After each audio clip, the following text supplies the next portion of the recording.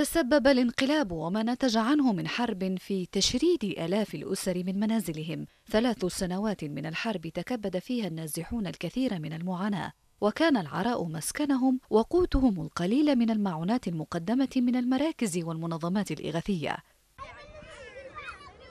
تشتد معاناة النازحين والأسر المعدمة كل عام مع حلول فصل الشتاء خاصة في المناطق الأكثر برودة حيث تصل درجة الحرارة في بعضها إلى ما تحت الصفر. ومع تردي الأوضاع في البلاد بسبب الحرب وتدهور الوضع الاقتصادي بشكل كبير أصبح حصول الأسر المحتاجة والأسر النازحة على أغطية كافية تقيهم برد الشتاء أمر في غاية الصعوبة. وتسبب الوضع المعيشي المتدهور بتقلص التكافل الاجتماعي حيث أصبح الناس بسبب الفقر وانقطاع المعاشات بالكاد يستطيعون تأمين لقمة عيشهم الخاصة.